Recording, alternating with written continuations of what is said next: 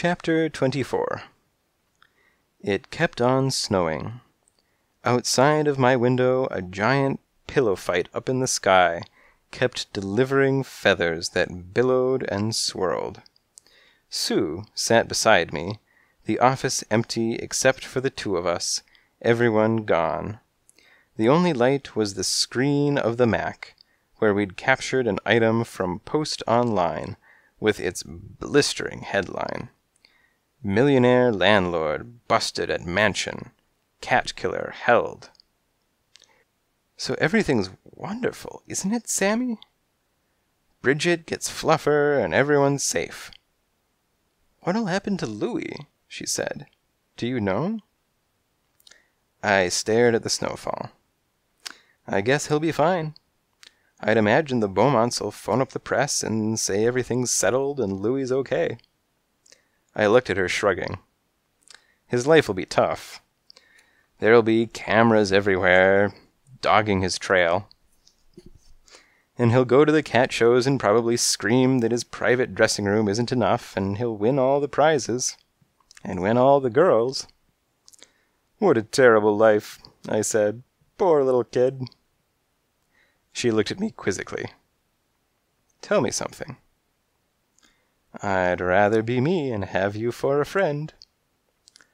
That wasn't the question. I said. Don't worry, that wasn't the answer. She glared at me. Sam? Go on, what's the question? It's how did you know? I mean, how did you figure that intricate plot? I said, Maybe I didn't. What? It's a plot, but I mean, who knows if it's really what happened? And then what's the difference? The bottom line is that everyone's happy and everyone's safe and the bad guys are punished. You add up the time for the tigers, the tortoise, the sheep, and the birds, and the rest of the cats, and the elephant, too. And you're looking at centuries. Gutless and Hench will be stuck in a cage like the cats in a zoo. That's poetic justice, isn't it? Yeah. We stared at the snowfall and stood very close. But what got you started? She said. The things.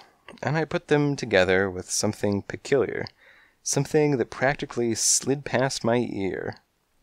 As Jean Claude told it, Sebastian came to after Hench stole Louis and called up his dad. He said, Pops, I found Louis, but somebody grabbed him. And Algernon screamed at him, Get yourself home. Plus, he called him an idiot. See what I mean? Like if Louis was missing, actually missing, he would have said, stay there and follow it up, and not called him an idiot. That's what I mean. And I'd figure that Fluffer was some kind of farm kid and easy to part with to pull off the switch. And there's one other thing, Sue. The paper reported that several cars had left tracks at the scene. Sue thought it over. I still think you're something. She started to yawn at me brilliant, and great. She curled up beside me and looked at the snow, which was nearly hypnotic. The whirling, twirling, curling, hurling of feathery snow. I pictured the tiger who rose from the dead, repossessing his spirit, his sinew and bone, and escaped from the mansion, his eyes like lanterns that broke through the darkness and burned his way home. I pictured him free and entirely happy, alive and alone on a whitening plain, his whiskers frosted, his luminous eyes on the Asian horizon, his mate in the cave. And for only a moment I was the tiger. I felt his anger.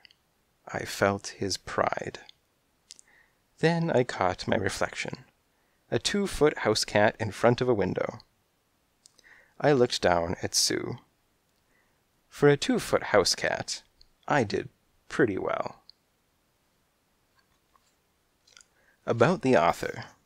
Linda Stewart has written 17 adult crime novels and film novelizations, plus television dramas and documentaries. Sam the Cat Detective, her first book for children, was inspired by her live in cat named Sam, who generously lets her share his Manhattan apartment.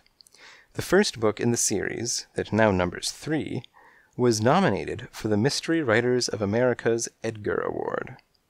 About Sam. You can read an interview with Sam himself, conducted by Ginger Peach, the feline associate editor of Catalog magazine, if you go to Sam's website, www.samthecat.com. He welcomes questions from readers, and you can email him through his site or write to him care of the publisher.